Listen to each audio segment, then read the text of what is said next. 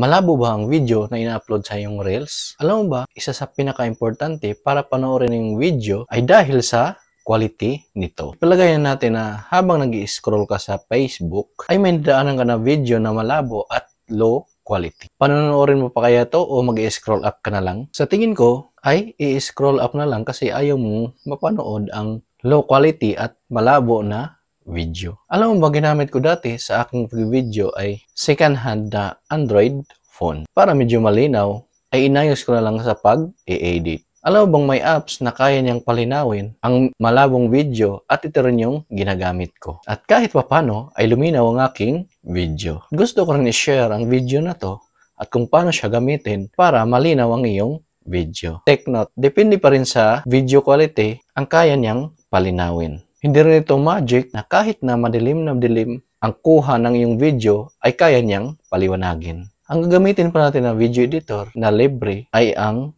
CapCut. Kung wala ka pa nito ay pumunta ka lang sa Google Play Store at i-search ito at i-download. Kung ma-download mo na, i-open mo lang at sundan mo lang ang video na una, punta tayo ng CapCut apps. Kung nasa loob na tayo ng CapCut, pinutin lang tong new project. Ayan, so dito ko napipili ng video na gusto mong palinawin.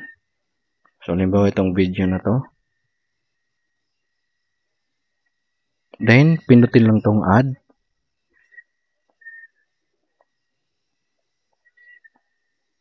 Then, pinutin tong video na nasa baba. Then, kung mapapansin nyo, may lumabas na option dito sa pinakababa. Then, scroll lang natin pakaliwa.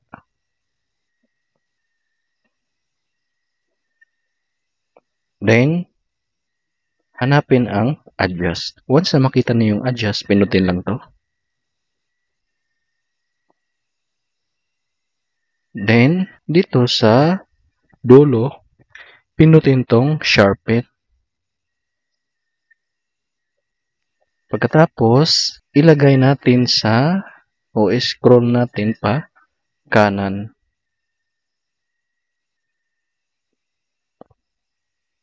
Ayan, so kung mapapansin nyo, lumiwanag yung video natin.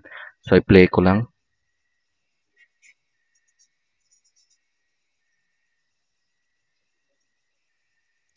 Mapapansin nyo talaga yung pinagkakaiba. Lumiwanag yung video. Then, pagkatapos, pinutin lang tong check.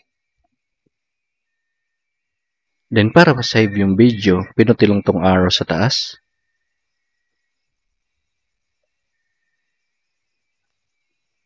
Ayan, exporting.